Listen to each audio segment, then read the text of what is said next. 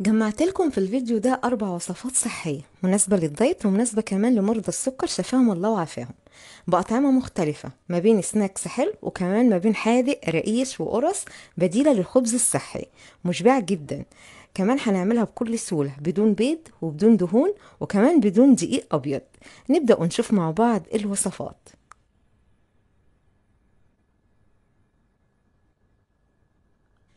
السلام عليكم. أهلا بكل متابعيني. هنعمل مع بعض النهارده snacks صحي مية في المية. بسكويت السمسم أو كوكيز السمسم. هنعمله بكل سهولة. بسيط جدا. مفهوش ولا نقطة دقيق ومفهوش كمان بيض. نبدأ. بسم الله. عندي مقدار نص كوباية من السمسم.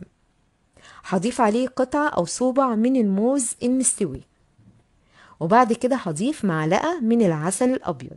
نقدر نستغنى عن العسل. هبدأ إن أنا أقلبهم أو هبدأ إن أنا أعجن فيهم مع بعض علشان أهرس الموز وأقلبه مع السمسم ومع معلقة العسل زي ما إحنا شايفين. خلاص هي دي المكونات. جبت قالب الكب كيك ورشيت فيه بالبخاخ بتاع الزيت زيت عادي جدا زيت نباتي. وبعد كده ضفت معلقة معلقة من خليط السمسم مع الموز. وبعد كده هبدأ إن أنا أوزعه وأبططه بظهر المعلقة أو بكوباية لحد لما أسويه وعمل معايا خمس قطع. هسخن الفرن بتاعتي وبعد كده هدخله على الشبكة أخد بالظبط 10 دقايق ل 12 دقيقة. على حسب طبعا نار فرن كل حد فينا. بعد كده خرجته وده شكله. تحفة. بجد تحلية قمر سهل وبسيط وسريع وكمان مفهوش أي حاجة هتقدر توقفنا في عمايله. يعني اقتصادي مية في المية. ناخده snacks في اليوم بتاعنا في ال diet. مشبع جدا جدا يا جماعة. وسكره مظبوط. تقدروا تستغنوا عن معلقة العسل الأبيض وتكتفوا بالسكر بتاع الموز. جربوه وما تنسوش like للفيديو واشتراك في القناة. صحتين. تعالوا لما أقول لكم على بديل الخبز مشبع ينفعنا في الدايت. هنعمل مع بعض قرص من البطاطا الحلوة تحفة مشبعة هتسد معانا أربع ساعات. يلا نبدأ بسم الله. هاتي قطعتين من البطاطا مشوية أو مسلوقة قشريها واهرسيها. تلات معالق كبار من دقيق الشوفان عليهم وضيفيها. رشة من الملح وقلبي واهرسيهم جوا بعض كده واعجني. معلقة من السمسم حطيهم عليهم وقلبيهم. كونا خلاص وقطعناهم كور. هاتي طبق وخدي كورة كورة وبططيها.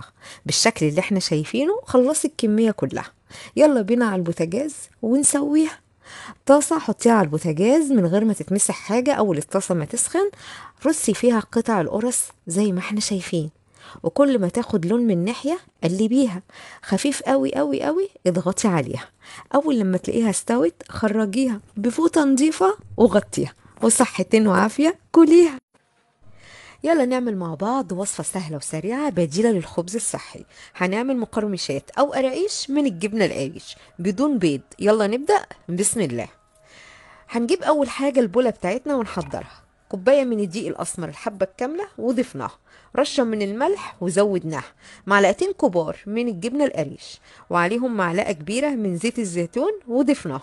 بالمعلقة قلبنا وبعد كده محضرة كوباية من المية الدافية. معلقة كبيرة من حبة البركة. هنضيف المية شوية شوية لحد ما تتكون معايا عجينة بالشكل ده. بين كيسين هنفردها. بعد ما فردناها وبططناها هنجيب القطاعة بتاعتنا. أي شكل متوفر وهنقطعها. الصينية محضرينها ممسوحة مسحة من الزيت ورصينا فيها العجينة. في الفرن على الشبكة ودخلناها. 12 دقيقة وسويناها. وطلعت زي ما إحنا شايفين جمال مش قادرة اوصفه. طعم لا يقاوم. وصحتين.